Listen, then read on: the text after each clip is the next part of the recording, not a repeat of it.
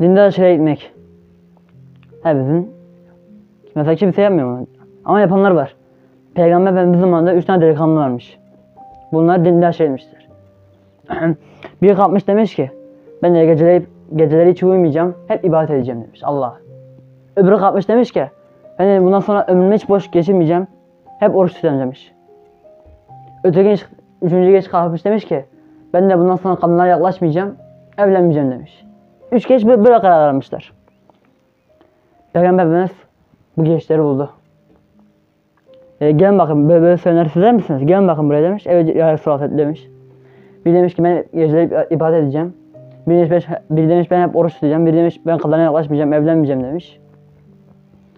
Peygamberden şöyle buyurmuş. Demiş ki Allah'a en yakın olan kul benim. Ben de, de geceleri hem uyurum hem de namaz kılarım.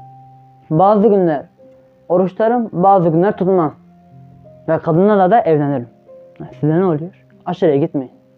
Dinde aşırıya gitmek. Ve böyle söylemiş. Ya.